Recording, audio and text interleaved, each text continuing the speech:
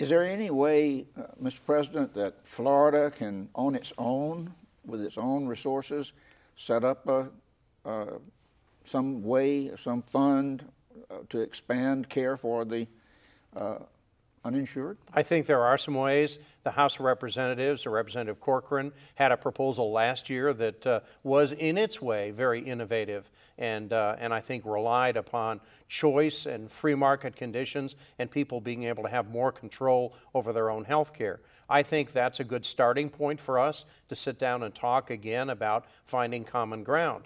But, but let's remember this. A year ago, when Speaker Weatherford said, you know, we're suspicious of the federal government being willing and able to keep its promises, a lot of people said, How could you possibly take that position?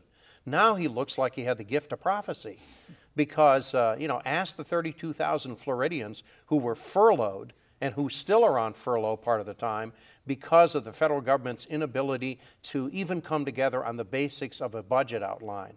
And when the president and the Congress are in that kind of paralysis, uh, and, and, can't pay their own bills, can't maintain their commitments to people in the military and people uh, you know, who are serving the military through defense contracts. It seems like Speaker Weatherford was, uh, you know, had the gift of prophecy to say, let's see how some of these other states are doing. Let's see how Obamacare expansion really rolls out uh, before Florida takes a plunge that could cost the people of Florida billions of dollars and also put uh, one out of every four Floridians into a dependency on Medicaid circumstance that would be uncertain in terms of its ability to keep its promises.